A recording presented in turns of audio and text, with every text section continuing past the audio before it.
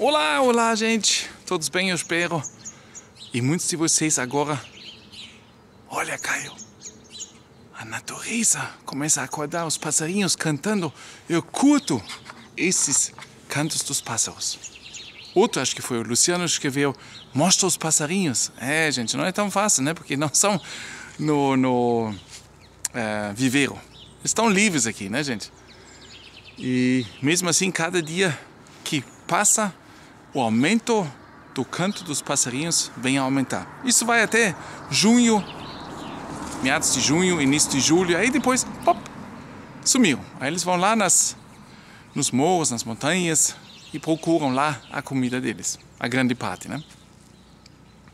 Pois é, eu também curto de manhã cedo, às 5 da manhã, quando começa agora a ficar mais claro, eles começam a cantar, cantar, cantar.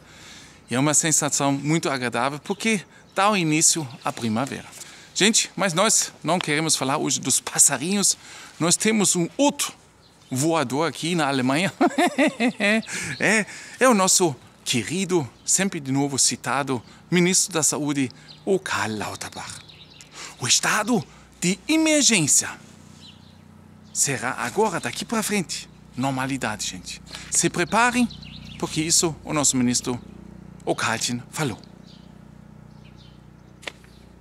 O estado de emergência será a nova normalidade. É, gente.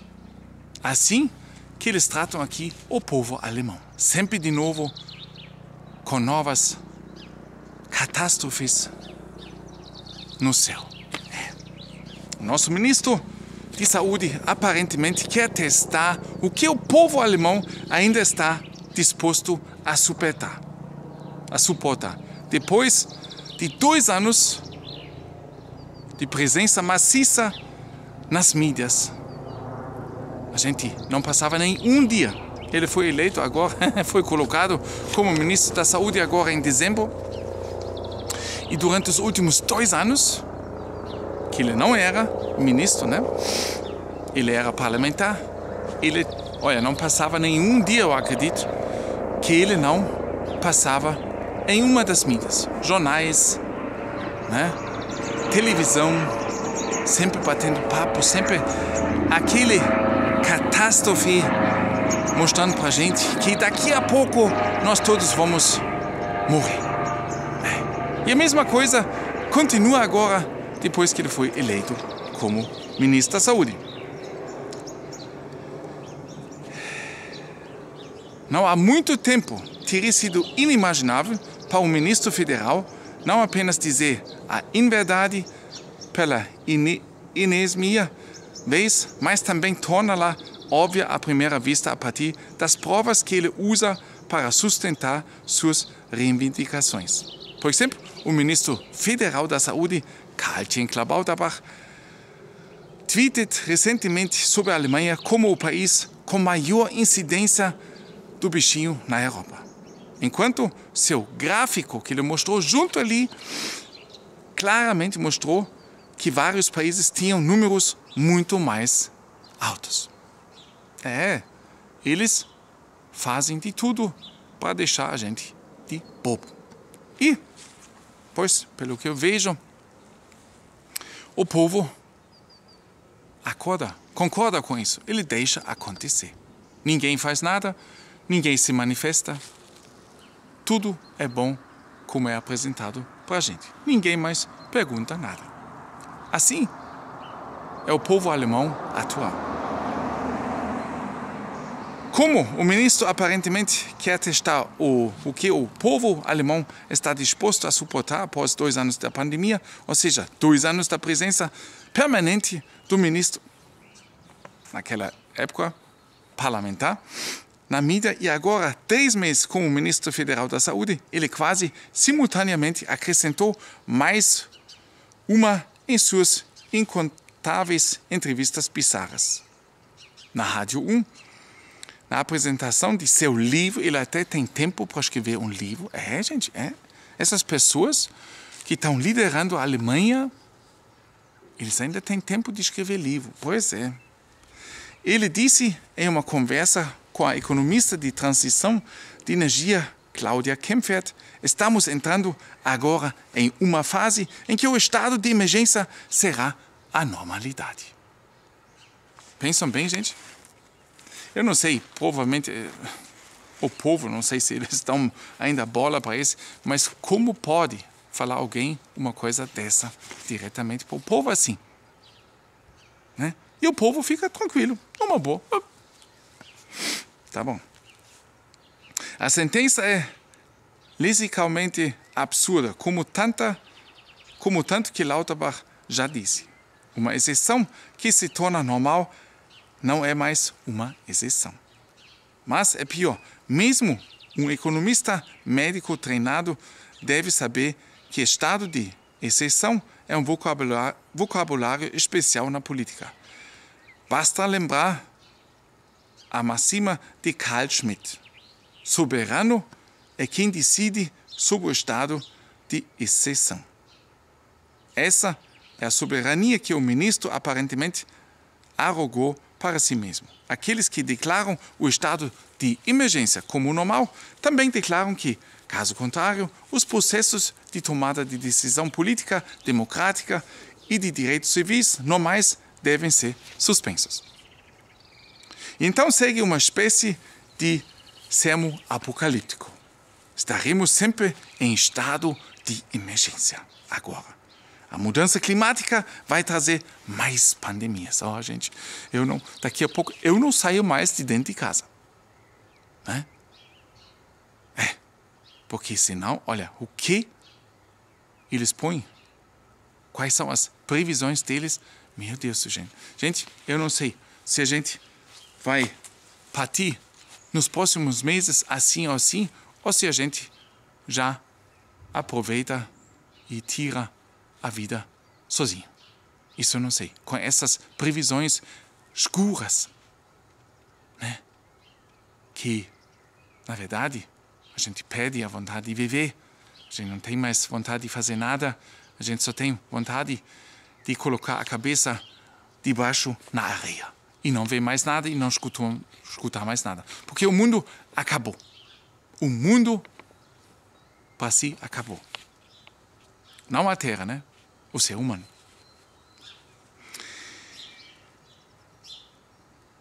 A mudança climática vai trazer mais pandemias. Por quê? O moderador não pergunta.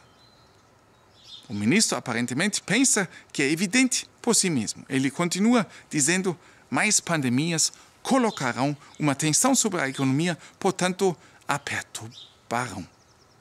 Aqui também teria que se interpor se não foram também as medidas políticas, algumas das quais eram altamente questionáveis em seus efeitos, que, que enfraqueceram a economia. O ministro continuou: Estamos entrando em uma situação de escassez global de água. E as guerras pela água são quase inevitáveis são de se esperar grandes migrações. As pessoas costumavam pensar que haveria guerras pelo petróleo. As guerras pela água são muito mais prováveis. Esquecendo que justamente agora nós temos uma guerra ali, né? E se trata também de petróleo, de gás, etc. Né? Uhum. Kempfert o interrompeu, mas não para perguntar ao ministro se ele está ciente do portento que está pintando na parede, ou para lembrá-lo que ele afirmou recentemente num outro jornal que ele não permite exageros e não trabalha com cenários de horror. Mas sim, para mostrar que o ministro não é o único que pode fazer afirmações estridentes e absurdas, estamos tendo uma guerra pelo petróleo. Será que ela se refere à guerra na Ucrânia? Sem dúvida, sem esclarecimentos.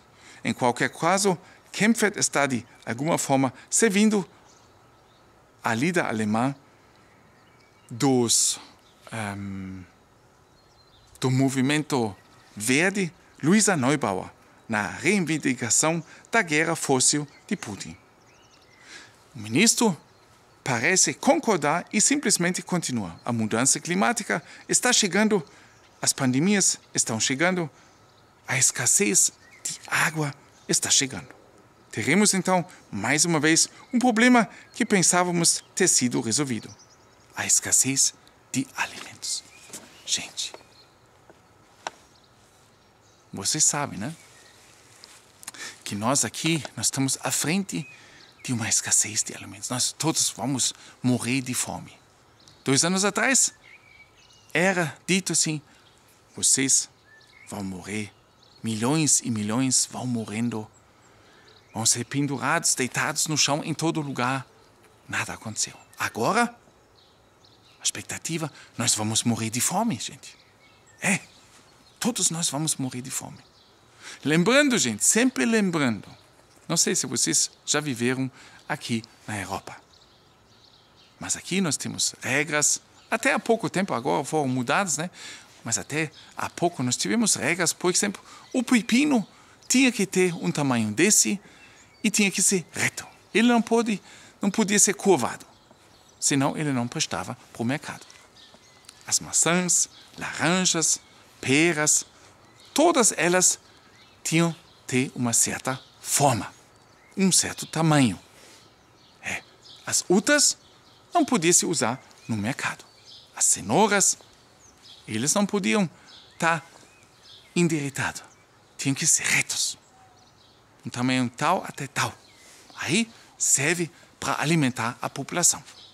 E assim, assim a gente tem um monte de regras que por parte agora já mudou um pouco, mas nem todos.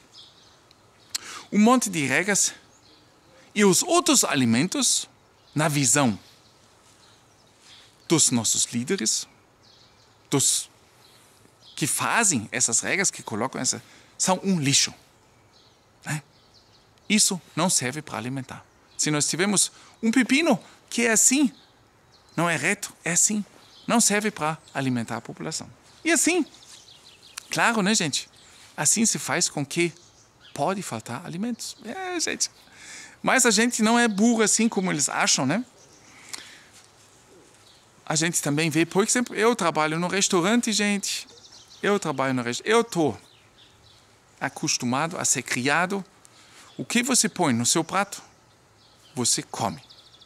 Se você não sabe como é o gosto, você pega só uma colher. Experimente. Se você não gostar, você joga só um pedacinho fora e não encher o prato e depois, ah, fui dado, não gostei. Não, eu sou criado dessa forma. Mas se eu vejo quanta comida nós estamos jogando fora no restaurante, porque as pessoas pedem, a gente até tem porção para aposentados, né? quer dizer, menorzinho, que outros também podem pedir, mas o pessoal quer experimentar, acha isso, isso, aquilo. Quanta comida está sendo jogada fora? Eu, por cima, eu acredito, particularmente, não sei bem, mas eu diria o que eu levo de volta às mesas 10 a 20 até 25%. Né? Tudo comida que desnecessariamente é jogado fora.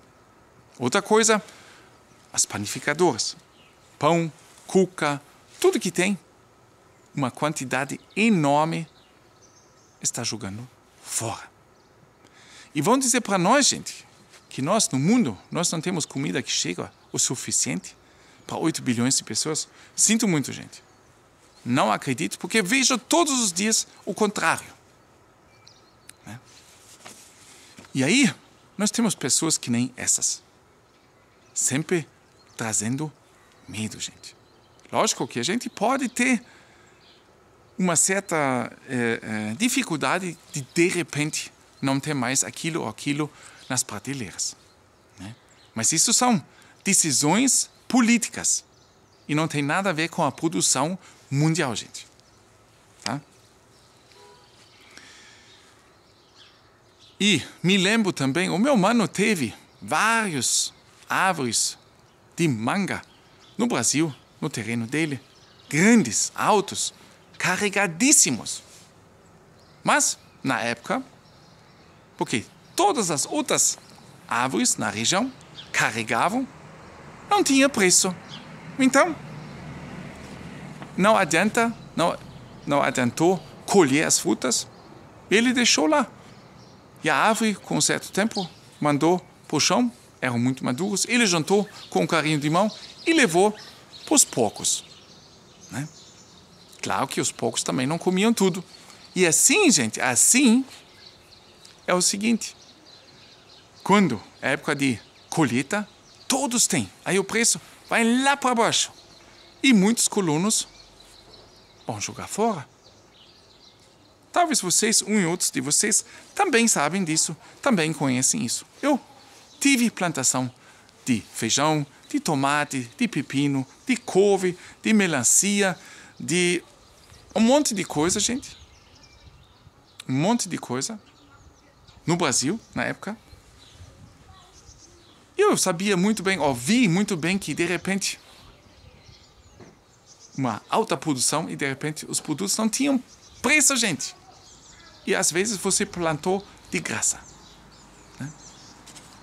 Pois é. Então tem tudo isso, sobre isso ninguém fala, né? Ninguém fala, mas nós, nós aqui no nosso canal, juntamente com vocês, nós comentamos aqui. Porque nós, com mais de cinco décadas nesse mundo lindo, vivendo aqui, a gente também já viu muito e aprendeu muita coisa na vida. Não tudo, mas muita coisa. Forte abraço, gente. Mão no coração. Até mais.